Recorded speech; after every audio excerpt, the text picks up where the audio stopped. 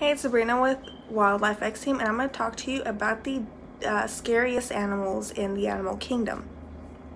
As many humans seem to love, have a, love to have a good scare, especially on Halloween, ghosts, zombies, vampires, and other fictional characters are good for putting a chill down your spine. But if you're looking for something truly scary, let nature be your guide. The first one I'm going to talk to you about is the box jellyfish. They pack a deadly sting.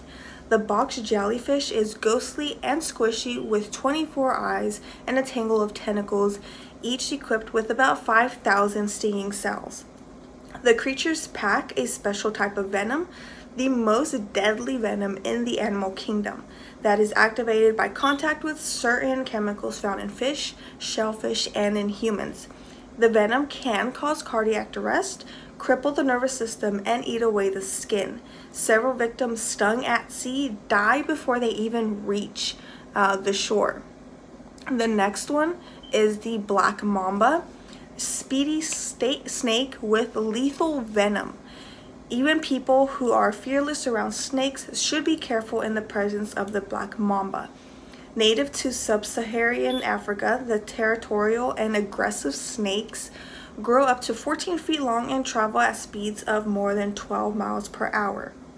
Fortunately, the black mambas are shy and usually race, race away with human approach, but when threatened, they attack with repeated strikes to deliver lethal venom.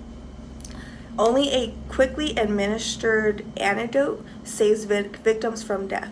The black mamba gets its name from the color of the inside of its mouth uh, the next one is the saltwater crocodile. They actually eat people.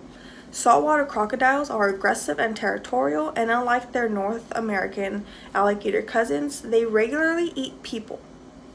They live in saltwater and freshwater rivers and swamps ranging from Australia north to Southeast Asia. The biggest male weighs access weigh-in access of 2,200 pounds and measure 20 feet long from toothy snout to scaly tail, making them the world's largest reptiles. Even they, uh, though they mostly dine on smaller prey such as fish and shorebirds, adults will occasionally tackle larger animals including careless people, tourists lure in croc out of the water with chunks of meat. So those are a few and I will get back to you with some more on those.